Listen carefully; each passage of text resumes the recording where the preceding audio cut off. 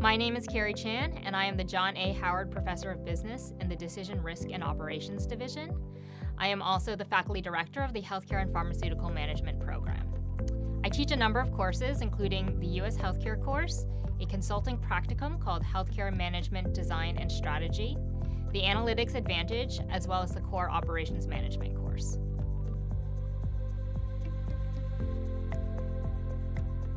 So I'm actually an engineer by training. I got my PhD in electrical engineering. I teach here at Columbia Business School about healthcare, and my research is in the space of healthcare operations. My primary collaborators are actually at health systems. Many of them are doctors. And so my work takes a very interdisciplinary lens that fuses business, healthcare, medicine, engineering together to come up new solutions to improve healthcare industry, to improve access to care, to improve quality of care, and to reduce costs. So one of the things that we have done is built a machine learning predictive algorithm to predict when patients are going to arrive to uh, emergency departments. But critically, what we do is we look at this prediction on two different timescales, aligned with when staffing decisions are made. Even before the COVID 19 pandemic, almost all hospitals have some sort of surge plan. A surge plan is what do you do when patient demand exceeds supply of resources? These surge plans can have many different features, including bringing in overtime staff or agency staff, which are temporary staff, to help fill in gaps to meet the patient demand. So, what we wanted to do was understand how predictive analytics could be used to guide these types of staffing decisions. With that in mind, the decisions are typically made months in advance of how many full time employees you would have staffed. But as the shift gets closer, you may see that demand is actually higher or lower than what you expected it to be. Why would this be the case? Well, think about it. Every winter, we know that the flu is going to hit.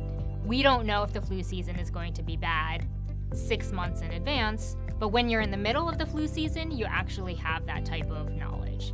And so, real time information that can feed into your predictions can certainly then be used to improve your staffing rules. So, what we do is we build a staffing algorithm that has these two decision epochs weeks in advance to determine your full time employees, and then we feed in our real time predictions to determine how much additional staff to surge up. We estimate that our algorithm can save anywhere from 10 to 15% of staffing costs while maintaining a level of quality and access for patients just by using data and smarter staffing decisions.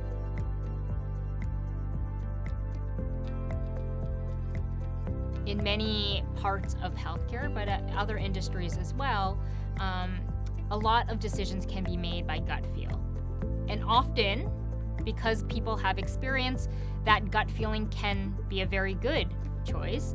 Um, but it's also important to understand that with access to data, with the wealth of data that's becoming available, we can fine tune and improve quality of decisions and guidelines by incorporating that information. On top of that, the importance of data itself is not just about having the amount of data, but the type of data. And so we found in our staffing model for emergency departments that actually the predictions of emergency department arrivals between predicting, let's say, two months in advance versus right now at the beginning of the shift, you would imagine that there would be a, an improvement in the quality of the prediction.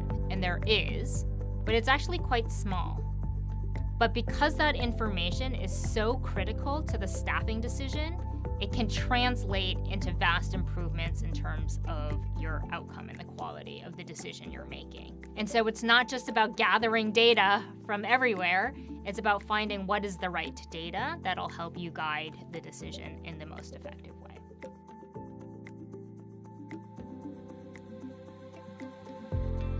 About 15 to 20% of CBS students are interested in healthcare, and a growing area of interest is in the digital health space.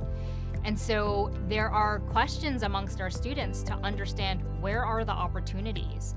What are the barriers? Um, and so I live and breathe this in my own research. And so talking them through it to show them there are real opportunities where AI and machine learning can have a direct impact in improving healthcare um, is really exciting.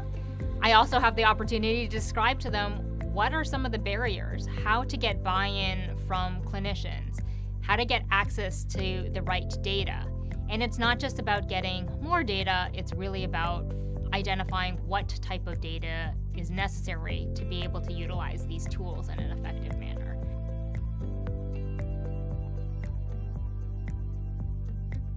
It's a really exciting time to be working in the healthcare space.